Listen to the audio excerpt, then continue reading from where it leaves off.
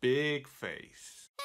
Hello, hello. My name's Jamie Smart and I draw comics. The comic I draw an awful lot of. It's Bunny vs. Monkey. So today I just wanted to make a really quick video to show you how I draw Bunny. A how-to, if you will. Let's go. Bonus dog.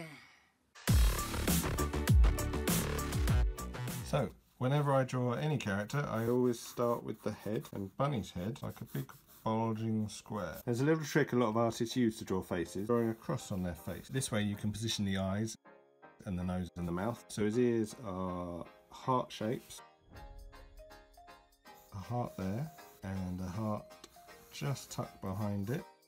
Don't forget Bunny's eyebrows, so they're just little curved lines. Now Bunny has a little tuft of cheek fur on his ears a little fold. Let's put a little fold in there.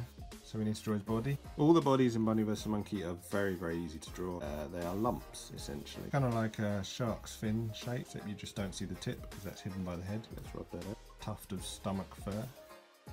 Arms, which are kind of like sausage shapes. A sausage there, and a sausage Obviously I've drawn my sausages a bit kind of fat at one end, thin at the other. Thumbs, fingers, thumb fingers.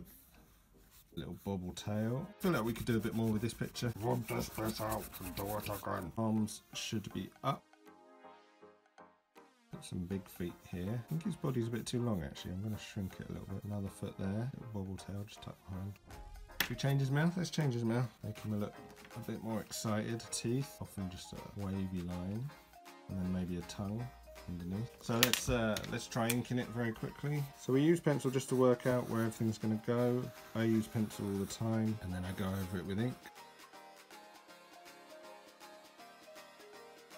a little black bit here, just uh, shading bits in black when they're in hidden behind the foreground tends to help everything pop a little more. These lines tend to help look a bit mad, and there we go. Oh, we've got to sign it. Bunny from Bunny vs Monkey. Come back soon and I will draw Monkey.